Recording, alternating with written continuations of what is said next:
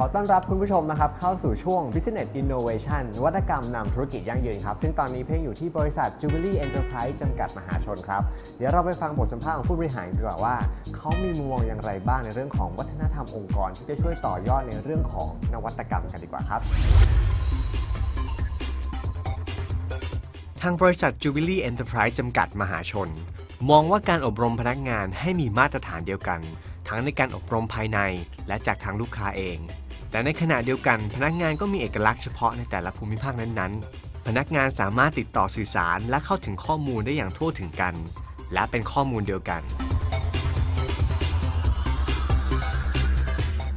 อะครับอยากจะรบกวนถามเกี่ยวกับเรื่องของตัวพนักงานนิดนึงว่าจริงๆแล้วจูบิลี่เองเนี่ยมีหลากหลายสาขาเหลือเกิน ทั้งในกรุงเทพเองต่างจังหวัดเองก็มีหลายสาขาค่ะมีการเทรนพนักงานไงบ้างให้เขามี mindset หรือวิธีการพูดจาที่เข้าถึงของตัวบริษัทได้แบบเหมือนกันเดะเลยนะครับก็ต้องบอกว่าในการที่จะสร้างมาตรฐานนะคะ ในการที่จะทั้งนำเสนอผลิตภัณฑ์ของแบรนด์จิบิลี่เองแล้วก็การให้บริการลูกค้าเนี่ย เราก็ต้องมีการเทรนนิ่งพนักงานเนี่ยอย่างสม่ำเสมอนะครัคะบซึ่งเราก็จะมีการจัดการระบบการอบรมกันภายใน ทั้งในอืมเรื่องของผลิตภัณฑ์ การดูแลลูกค้า ความรู้จักองค์กรนะคะครับแต่ว่าจริงๆที่สำคัญอีกส่วนหนึ่งที่ช่วยเราได้มากก็คือว่าเราจะมีการวัด feedback ค่ะอืมซึ่งการวัด feedback นี้เนี่ยเราทำทั้ง internal ก็คือว่าหัวหน้าหน่วยในแต่ละแผนกเนี่ยครับทำการประเมินในส่วนของพนักงาน แต่อีกส่วนหนึ่งที่สำคัญแล้วเราคิดว่าเป็นข้อมูลที่ เอ่อเป็นประโยชน์มากๆ คือว่าเราจะมีทีมในการที่จะวัดความพึงพอใจของลูกค้าค่ะอืมซึ่งครับหนึ่งในคำถามนั้นเนี่ยจะมีการวัดมิติในเรื่องของว่าพนักงานเนี่ยสามารถที่จะ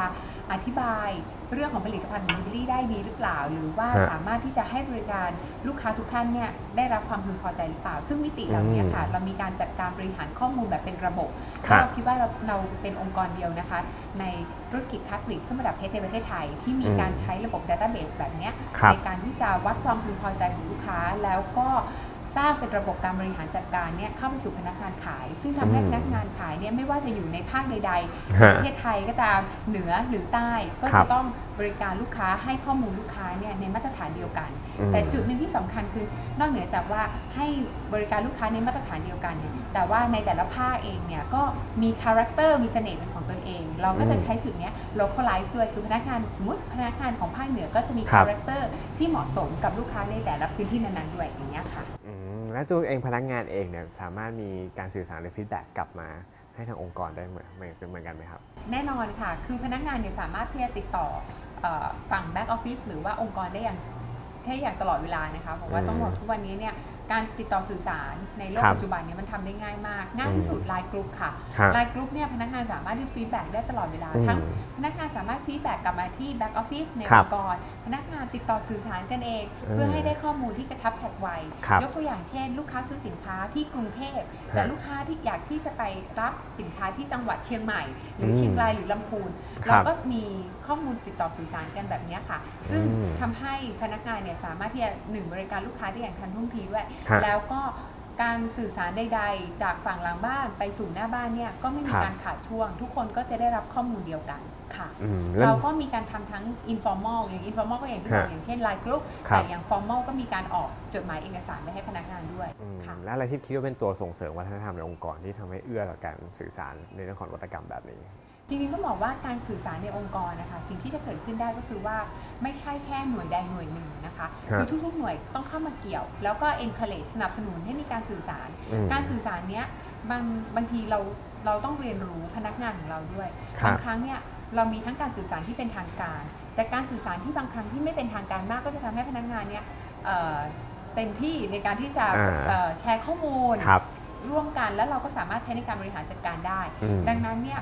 ฝั่งหัวหน้า management ฮะก็ต้องเข้ามาเกี่ยวข้องในการสื่อสารนั้นๆ และอืมการสื่อสารใดๆจากพนักงานเนี่ยถือว่าไม่ได้เป็นเรื่องผิดใดๆอะค่ะครับอ่าอืมเพราะฉะนั้นเนี่ยเราก็จะต้องเขาเรียกว่าสนับสนุนให้ลูกอ่าให้พนักงานเนี่ยฮะมีการสื่อสารอืมกันด้วยในระหว่างทางอันนี้เรื่องของพนักงานแล้วแล้วเรื่องของตัวของลูกค้าเอง voice of customer เองที่จริงๆแล้วพนักงานหน้าร้านอย่างเงี้ยหน้าเคาน์เตอร์ก็จะเป็นคนที่เหมือนเป็น frontline นะที่จะไปเจอกับลูกค้าโดยตรงค่ะแล้วลูกค้ามี feedback อะไรกลับมา หรือว่าค่ะ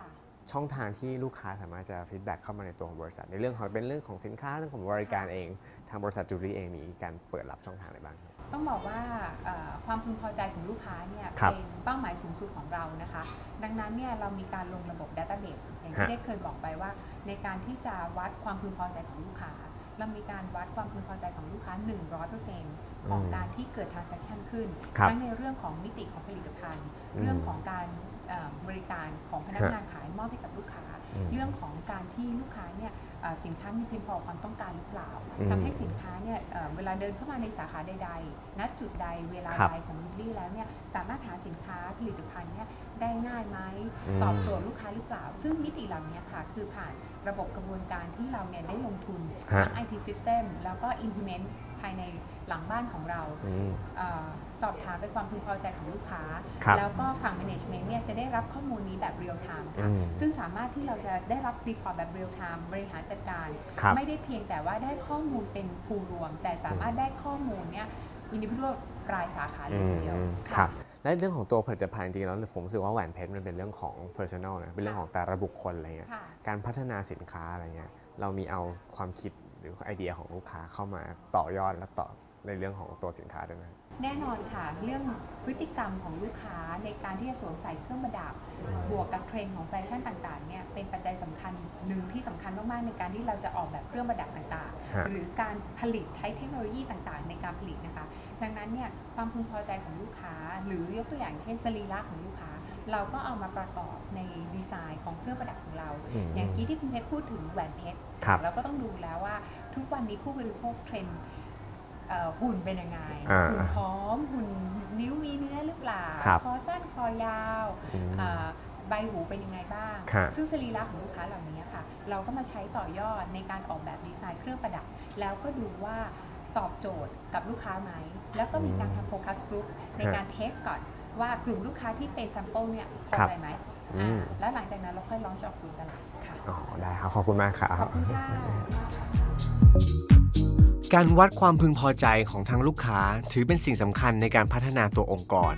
ให้มีการเติบโตได้อย่างยั่งยืน ทั้งในเรื่องของการบริการของตัวองค์กรเอง และตัวผลิตภัณฑ์ เพื่อให้มีการตอบสนองต่อความต้องการของผู้บริโภคทุกยุคทุกสมัย